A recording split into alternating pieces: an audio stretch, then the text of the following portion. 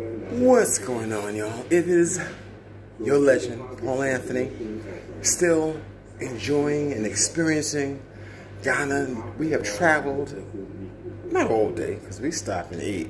When we eat, it takes time because they make it right there. They take their time. Sometimes there's one chef, but you know you're getting love and care in your meal.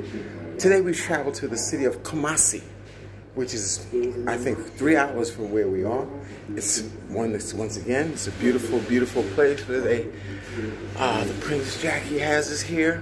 We're going to, oh, oh, wait, gotta stop with the artwork. Y'all know me and my artwork. Look at this. Ooh, mm, mm, mm. Such expression, such detail.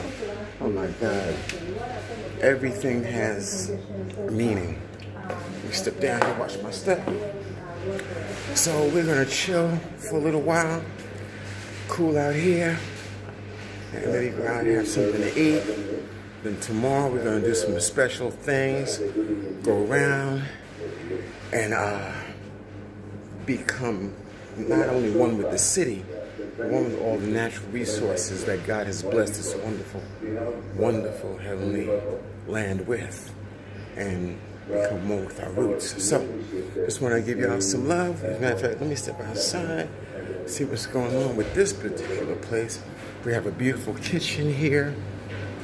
We have a wonderful kitchen right near home.